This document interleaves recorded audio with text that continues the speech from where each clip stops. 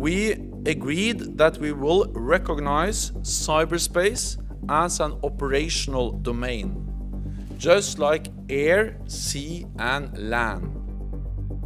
Target, Home Depot, JP Morgan, Sony, TV5 in France, your government and mine have all been hacked lately.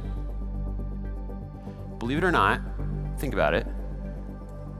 Multi-million, 10 of million, or 100 of million euro networks are being compromised by a single email.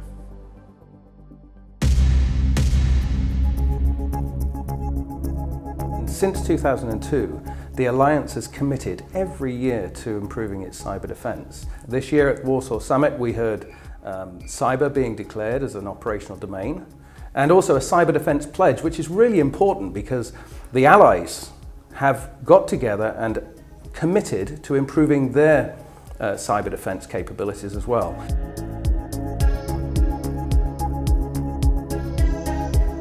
We are showing today the results of the Cyber Incubator.